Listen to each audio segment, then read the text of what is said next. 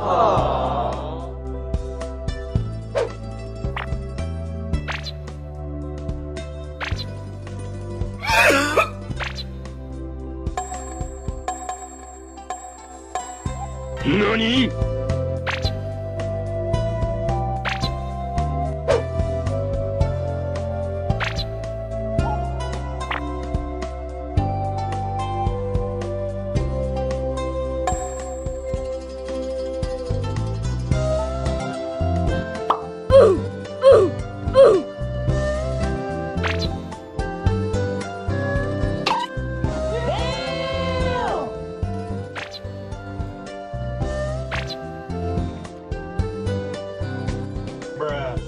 Okay, so basically for this piece of Gucci clothing, I was able to get it on the first update, well the first ever release of Dead by Daylight beta, but right now, like if you look into the store, as I'm showing you right now, the piece of clothing is not there anymore.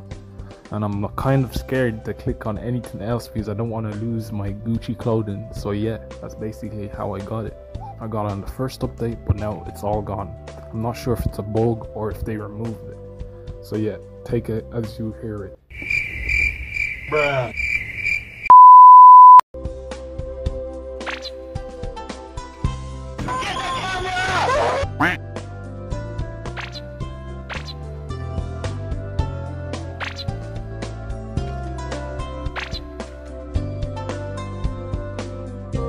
Okay.